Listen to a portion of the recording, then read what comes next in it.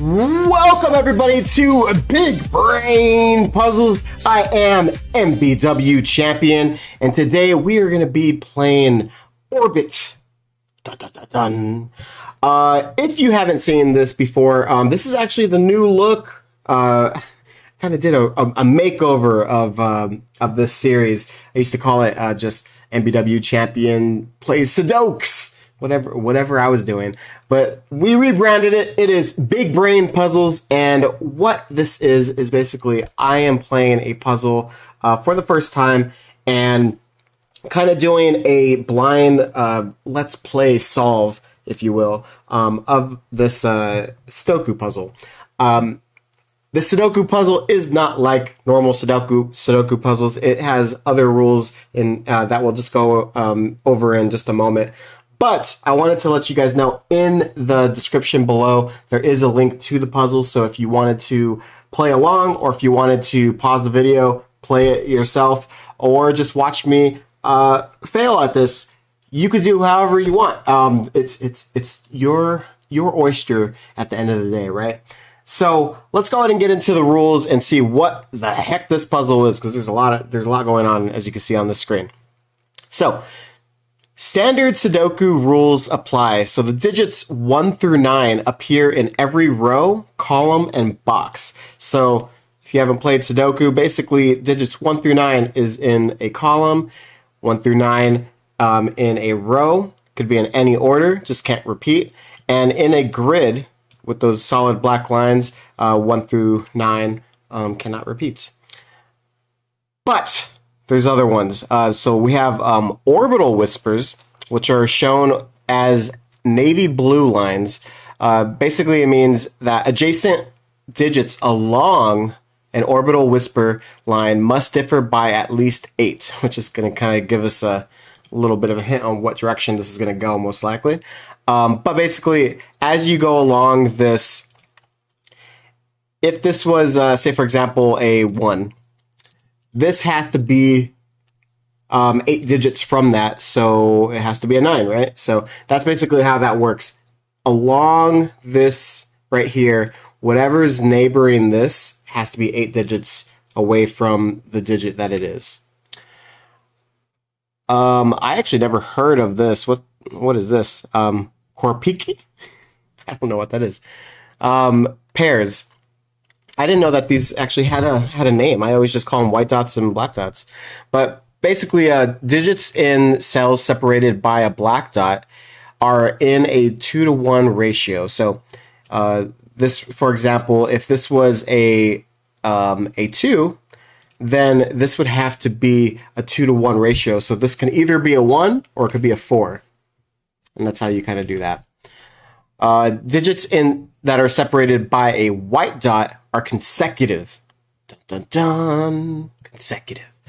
Um, not all the dots are necessarily given. Okay, so so what, what that means is, you know, if these are consecutive, as you know, one um, could be consecutive to two, but two can actually be next to a three as well, right?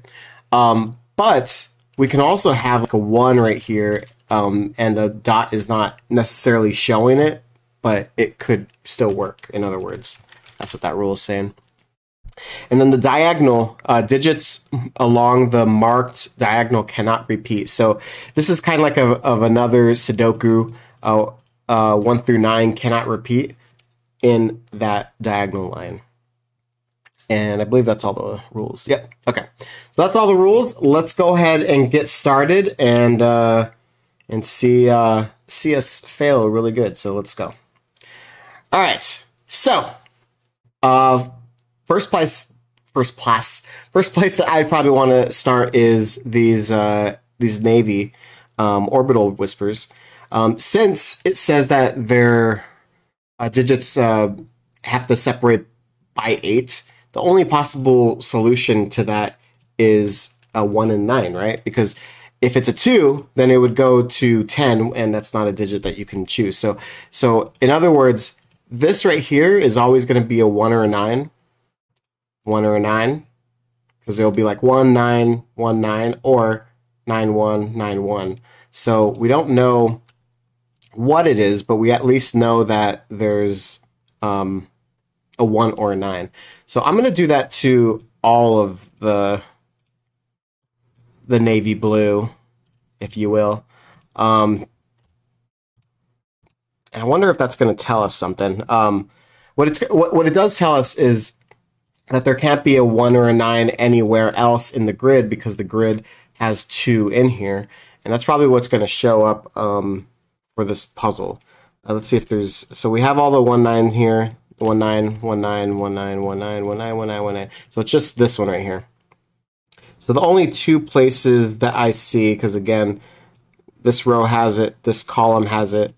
So in other words, these are the only two areas, or uh, uh, so only four areas that a one and a nine can be.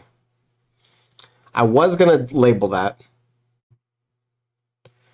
but we also need the digits one through nine in this line, and since these uh, one and nines are not in these two grids, that means it has to be in this um, in this box, this grid. So the one and nine go here. Um, now, what I think is going to happen is now that we know it's consecutive, um, next to a dot. So, say for example, this one nine, if it's consecutive, it's either going to be a two or a um, eight. I think that's going to be true with all of them. Yep. Okay. So any of them that have a one nine next to it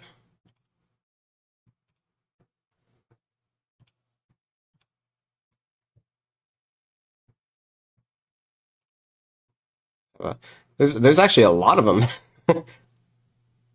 that one. Okay. Did I get all of them? I think so. If not, I'll label them a little bit later. So that's going to be either a 2 or 8. I did notice that there's um, other ones that reach here.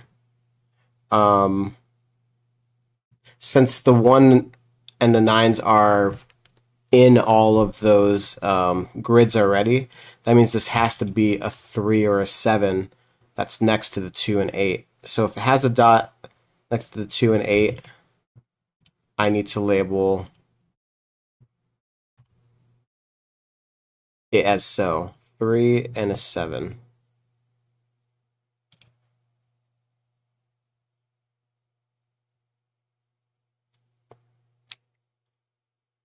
What I think we're going to need to do on this puzzle, now that I'm kind of looking at it uh, with just a whole bunch of numbers, I don't think we're going to get any digits anytime soon. I'm going to tell you why. Um, we know that like the 1 9 and 1 9 are in the same row. We know that the two eights are in the same row, right? But I can't tell you if this is going to be a 2, this is going to be an 8, or whatever unless I kind of color them in.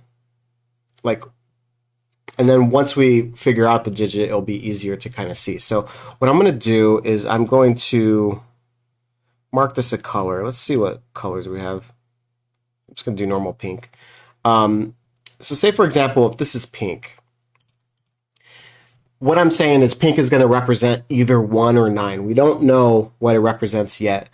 But what it does mean is that this digit cannot be pink because if this is a 1, that means this must be a 9, right? I'm going to mark that as blue. Um, so what this is going to do is it's actually going to show us which ones are going to be pink and which ones are going to be blue. So here's our pink, here's our blue, here's our pink, here's our blue, here's our pink, and here's our blue.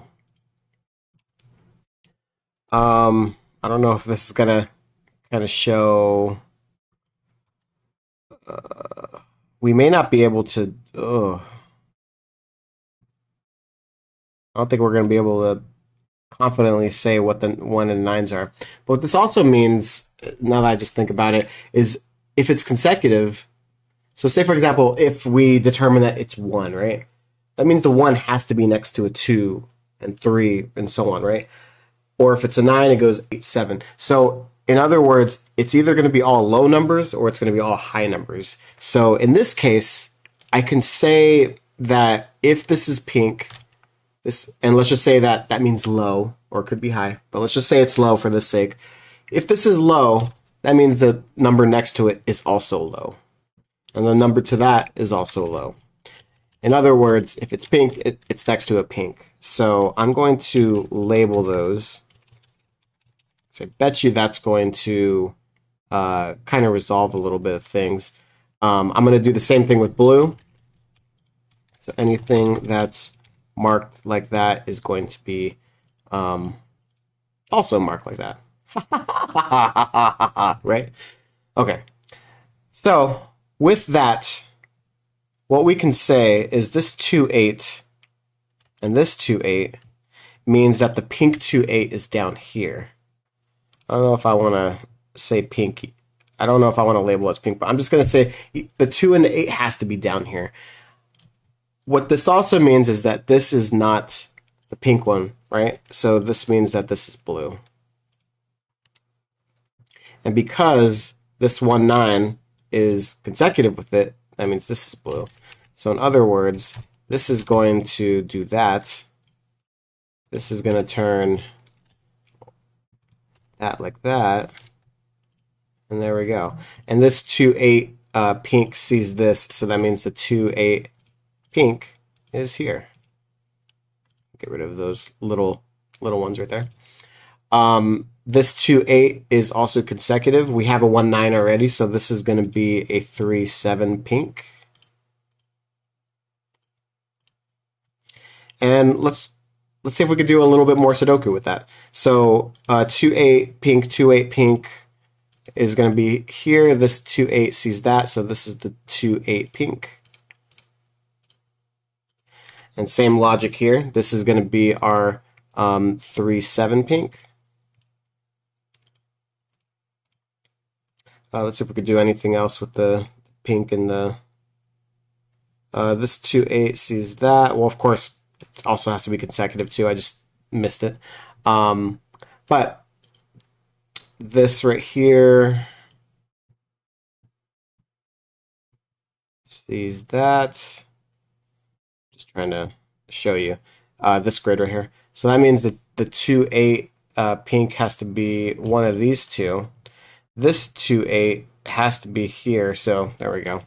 So the 2-8 pink goes here, and the 2-8 pink goes here. Is that all the 2-8 pinks? Oh, it is. Nice. Okay. Uh, I mean, can we do anything with the 37? Let me see. 37, or 3 and 7. I don't know why I'm saying um, 37. 3, 7. Uh, 3, 7 pink is on these two, so that means this is the 3, 7 right here. Uh, we do know that this is, um, you know, the pink, uh, either 1, 9, pink 2, 8, pink 3, 7. So that means this would have to be a, a 4, 6 pink. And let me see, 37 or 37, 37, 37. I don't know why I keep on saying 37. Um, 37 goes here, meaning the 4, 6 goes here. These are both pink. Um, and I think we kind of uh, told ourselves this since the 30 set or 37 can't be in these and it can't be in here. This is the 37 pink right here. Also, we never labeled these ones. There we go. There we go. All right. Uh, back to the 3-7. I think I got all the 3-7 pink. Yeah, no, it's perfect. Um, cool. All right. What next? What next? Okay, so the let's maybe the 4-6. 4-6 pink. Since this 4-6 pink sees this, and this 4-6 sees this, that means the 4-6 is here.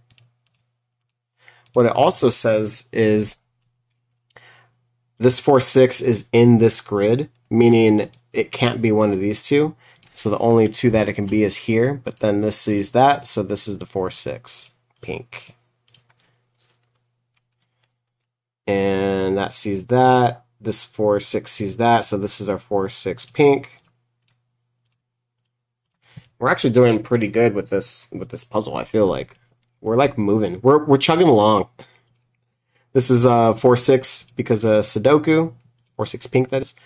Um, this is going to be one of the four sixes. I don't know which one yet. This is going to be one of the four sixes, and this is going to be one of the four sixes. So I don't, I don't know. I don't even know if I should be labeling it, but I'm just gonna, I'm just gonna leave it. It's fine. Um, this two eight right here. Let's go to blue. This two eight. Um, this one sees this, so that means it's it's going to be one of these two. Um, because this is in the the dot, the black dot, this has to be a 2-1 ratio. So in other words, it's either going to, like if it's a 2, like if one of these is a 2, um, it has to be a 1 or a 2. But the ones are already taken here, right? So that means it's going to be a 2 or a 4. And then the other option is it's either going to be an 8 or a 4. So in other words, this is always going to have a 4, no matter what. We don't know 2 or 8 wise, but 4 we know for sure is going to be here. And what that tells us is if this is absolutely 4, this is a 6, this is a 6. So that means all the pink uh, four sixes We're already we're finally gonna get our digit. Um, all the the pink digits are high, so that means this is a six. Um, let's do the 37 or 37. I keep on saying 37. I don't know why I keep on doing that. Um, did I get all of them? No, that one. Okay. Um, that one's a seven. Uh, one next to that. Um, again, these pink two eights are a eight. So I'm going to highlight all those and put eight. And then the one uh, that is the one nine pink is going to be our nines. I feel like I got all of them. Let's see. Nine. Um, and then vice versa. All all these uh, blue uh, one nines are going to be a one the 2 8 blue is going to be uh, 2. I think I got all of them. Um, and then the 3 7 is going to be 3. All right. Uh, and then let's just clean up the ones I missed. Um, so obviously these are the, the high digits. Um, so label that. All right, cool. All right, since there's a high 8 right here, we know for sure that the 8 is not here. So this is a 2-4 pair right here. Let's get rid of that. Eh. Yeah. Which means uh, we have our digits here, which are going to be a 3 or a 5. This 3 sees this, so this is our 5. I was going to like do some like pencil marks, but I, I don't actually think we need to. I think this puzzle is basically solved. Um, in this diagonal all the way across, uh, the only digit that's missing is a 4. This is a 5. Uh, to finish the Sudoku, that is. Um, let me see what's missing here. Um, so a 2 is going to go here because we know the 2 can't go here, right? So this is a 2, 3. But the 2 sees that, so this is a 2. This is a 3. And the only other digit that it's missing is a 5, I want to say. Yep, 5. Uh, meaning this is our 3. 3, because of Sudoku. Um, this uh, 2, 4 is seeing this, so this is our 4. And then this is our 5. This finishes out this, which is, I believe, a. I was going to say 9, but no, the nine's right here. It's just, it's just like the the line is kind of like seeing that portion, so I didn't. It was kind of fumbled a little bit, um, or I almost fumbled. I mean, um, all right. Anyways, clean that up a little bit. Okay. Back to just solving, like putting in numbers. Um, this is our five. This is our four, which is going to put four here. We do have digits that we need to do right there, but we'll conclude it right now. Um, this is a two. Yeah. I'm guessing this is a four, four, um, three, and a five. Excellent. Okay, so this three um, is seeing that uh, with Sudoku. I'll, I'll show you right here. These threes are seeing this, so this is our three. Meaning this is going to be a two or a four, but if you look to the right, there's a two, so this is a four. So that's going to be our two. That's our four. And I'll just, I'm just going to get rid of all these, uh, these things. It's already basically solved. Um, all right, so back to my numbers. Um, all right, so three, again, a bottom, um, and then this top one is seeing that. So this is our three. Uh, six is seeing this, so this is our six. That's our five. That's our six. Um, six is seeing that. Five is seeing that. Five, and then two. And there we go. Stop it! Stop it! Stop it! I don't know. I'll stop this stopwatch. but we did that in 17 minutes, basically. Um, nice. I don't know how to stop the timer. this is new. I, I, I, did a new look for this big brain puzzle uh, uh, thing, so um, I have to figure out how to stop the stopwatch. And like, apparently, I don't. I know how to like reset it, but apparently, I'm not gonna be able to. Um, anyways, that's just gonna keep on going. Um, but anyways, I thought that was a really good puzzle. Um, um, I think it was good that like I caught on to obviously like we needed to color these. Um, and really the breaking point was once you got here, once you can solve that one um, uh, black dot and see that the common denominator is a four, that kind of broke apart the whole puzzle. And then from there, it was, uh, you know, cake, right? Um, but super fun. I, I really enjoyed this this puzzle. Hopefully, you guys had a chance to uh, play it, and uh, you know, or you know, I always like like if like people are yelling at the screen and being like like what in the world you didn't see that easy thing. So hopefully, I didn't give you guys too much worry on that. Um, but yeah, thank you guys so much for watching. Every other Sunday, we will do another big brain puzzle um, using our big brain. And uh, you know solve these uh, cool little Sudoku um, um, unique puzzles that these people um, make because like these um, designers that are making these puzzles are freaking fantastic, and this one is um, definitely another fantastic puzzle. So again, thank you, good sir, for making the puzzle, allowing us to play this. Um, and again, please subscribe please leave a comment, you know, like the video, do all the stuff that, you know, helps my channel and stuff like that. Hopefully giving you guys this content um, makes your day um, a little, a little more happier. Um, you know, that's, it, it's entertainment por- portion. Like I love to give, so hopefully you guys um, like it. And if you guys do, give me a, give me a like, you know. Uh, but anyways, thank you guys so much for watching. I will see you guys next time for another Big Brain puzzles. Yeah, using our uh, b- b- b- big brain. All right.